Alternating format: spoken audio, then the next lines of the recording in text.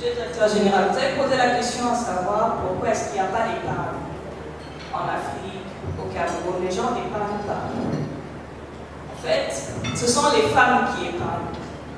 Je vous explique comment ça se passe. Quand vous prenez par exemple l'Afrique de l'Ouest, vous prenez le Sénégal, la Côte d'Ivoire, vous prenez même le Kenya, l'Afrique du Sud, des études ont montré que lorsqu'on parle d'épargne, ce sont les femmes qui épargnent. Donc si aujourd'hui Savannah veut beaucoup d'épargne, Savannah doit encourager tous les hommes d'amener leurs femmes, d'ouvrir des comptes. Et je vous assure qu'au bout d'un an, vous allez avoir des livrets remplis d'argent. Ça, je vous assure. Déjà, voilà. Voilà. Donc vraiment, je commence déjà par ça. L'épargne, euh, elle est importante pour la banque en fait.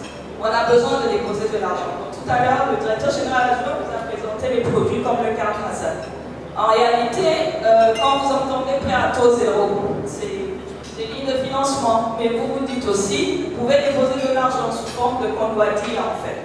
Et cet argent que vous allez déposer sous forme d'épargne, c'est ce que Savannah va utiliser si vous voulez vous financer tous les projets. Parce qu'il faut bien que l'argent vienne de quelque part, pas seulement des partenaires, mais l'argent provient de l'épargne. Voilà à peu près. Court, euh, je suis consultante auprès du gouvernement camerounais, auprès du NIPAT. J'accompagne le gouvernement pour développer la finance islamique. Pas seulement le côté banking, mais le côté trustee. Donc là, on parle plus du capital market où on va faire de la titrisation islamique et on va accompagner l'État aussi pour développer une fondation qui va s'occuper de tous les AOCAF, que ce soit des AOCAF publics ou des AOCAF privés.